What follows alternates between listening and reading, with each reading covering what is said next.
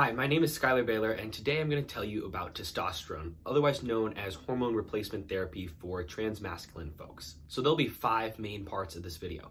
One, my own experience with testosterone very briefly. Two, the different ways of administering testosterone. Three, insurance coverage and getting testosterone. Four, the effects of testosterone briefly. And five, a quick FAQ. So I started testosterone in 2015 on June 3rd, so I'm a bit over four and a half years on testosterone.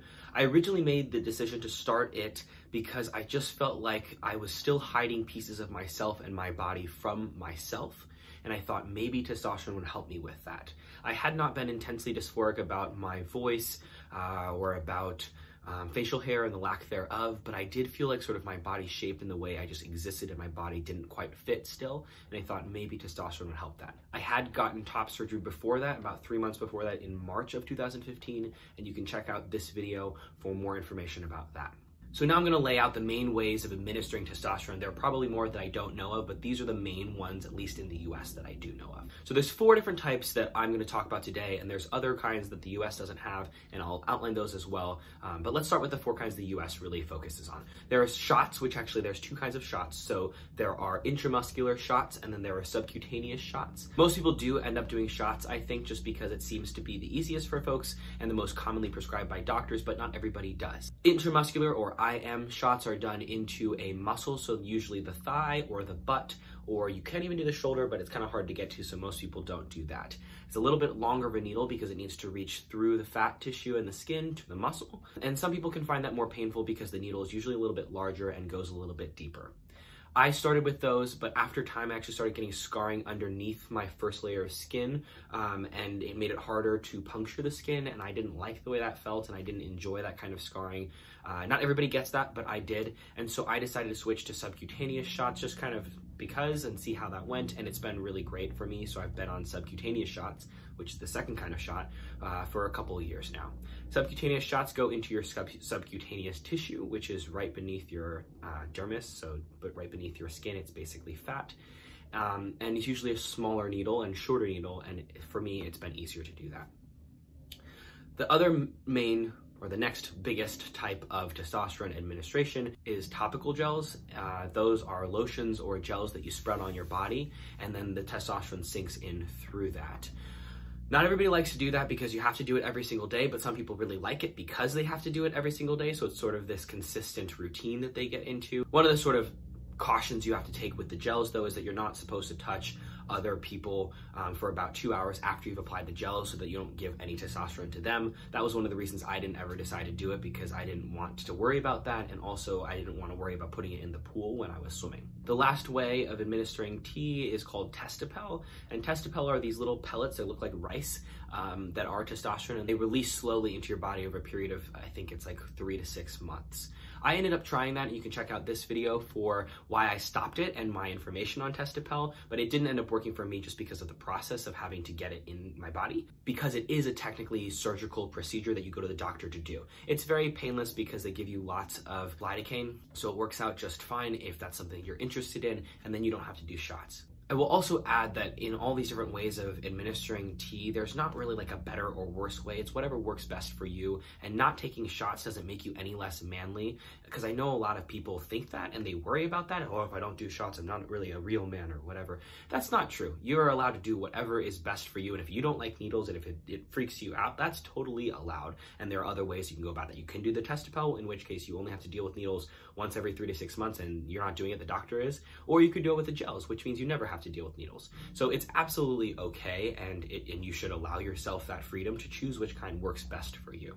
For me, I found that subcutaneous is the best way because it's the easiest, it's the quickest, I think about it the least, and I don't have a problem with needles, but that's just me and you need to do what works for you. The last one also that I'll tack on to the end is called Nebido, which we don't have in the US because the FDA hasn't approved it for unknown reasons. But in Europe, they have a shot called Nebido, and it basically functions a very similar way to Testopel. It's a long-lasting shot that you get every three to six months as well, and it just dissolves slowly in your body as opposed to having to do shots every single week. I would love it if we had Nebido here because plenty of trans guys I know from the UK use it and love it, but we're not there yet in the US for whatever reason.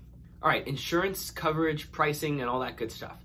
So I'll start from personal experience. I have CareFirst Blue Cross Blue Shield, and it covers my testosterone, and that means that my testosterone is about 12 bucks to 24 bucks, depending on which pharmacy I'm at because of geographic location, per every four to six weeks.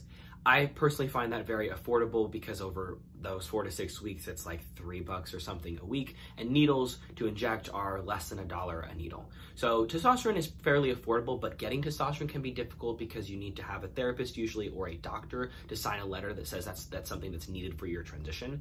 And I'll make a video later about all that kind of stuff. I will say though that as you're looking for testosterone or trying to get somebody to prescribe it to you, please make sure that you are getting your testosterone from a doctor, from a prescription, because it can be very dangerous not to do so. And I would never recommend somebody not using testosterone that was prescribed to them from a doctor. In addition to that, it's important to take the dosage that the doctor says to take and to work through that with your doctor because you need to do what's best for your body and you need to work that out with your doctor. And a lot of people I think get get wonder about dosages and I purposefully haven't named my dosage here because a lot of people ask me and I have said it in the past before, but I've realized over time that there really is no productivity in sharing that because everybody has a different body and there really is no average dose of testosterone. The reality is that there's all kinds of different bodies and diversity in bodies that requires different people having different different testosterone dosages because it's about the levels that end up being in your blood and not about how much you're taking and what effects work best for you. So now we've talked a lot about testosterone. What about the effects of testosterone? What does testosterone actually do to your body? So I'm not going to say everything because there's a lot of different things testosterone does, and there's a lot of videos about what testosterone does, but I just wanted to cover sort of quickly what effects I've experienced and sort of how those have happened for me. To start, taking testosterone is physiologically identical to going through puberty. And so if you want to think about what what's going on when I take testosterone, think about any guy that you know, any cis guy, what happened to him when he went through puberty. So some examples. My voice dropped, my Adam's apple formed, my face structure became more boxy, I began to grow some facial hair. Note, facial hair is very genetic, so it depends on what your genetics say about facial hair growing. Um, so mine is not, I mean, I've been four and a half years and I have a little bit of stubble that you can see and a little bit of this guy, but you know, it's again different for every person because of their genetics. Menstruation does cease, and if it doesn't in, after the first, I think it's three to six months, the doctor said to me, I need to tell something to them. Mine ceased within the first month and I haven't had it since, so that's been very nice. Body mass redistribution is a big part of testosterone, and that was the most helpful for my dysphoria, but that just kind of changes where fat and mass is distributed around one's body, so it's sort of more in sort of a classically masculine or male shape of straight up and down as opposed to curvaceous. It also changes physiologically what happens with your musculature. So it, it doesn't make muscles just grow. You're not just going to turn into the Hulk if you take testosterone, but it does increase the rate at which muscles repair. And so what that what that means is if you do use them and if you are working out or whatever you're doing with your muscles, that there's a faster repair, which means there's faster growth because that's how muscles grow. You will also increase the red blood cell count, which will affect endurance. You might experience male pattern baldness, which means that if balding is part of your genetics, you might have balding occur. I am terrified of that, but so far we've got some hair on my head still. All kinds of body hair will might change on your body. For me, it changed a lot. I now have I'm the hairiest legged guy in my nuclear family. Um, and I never thought I was going to be really hairy. Some people cite psychological differences. There is yet to be conclusive evidence or research on what that means. I'm actually working on a research project about the psychological cognitive effects of hormones but we again don't have any conclusive research on that. There is research that shows that testosterone will increase impulsivity, so you might feel that. But most folks do experience sort of moodiness or reactivity, especially within the first one to 12 months, because you're going through puberty.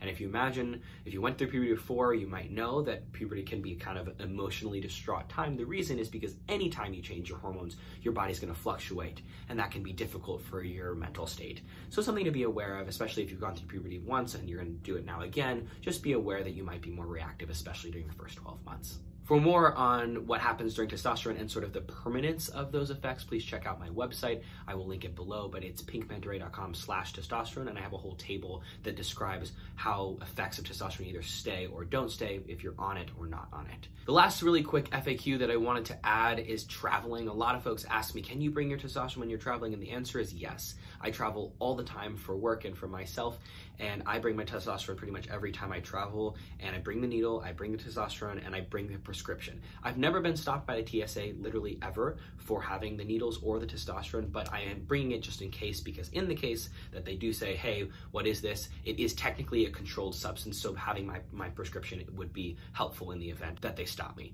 But it is not illegal at all to take it with me because it is my medication.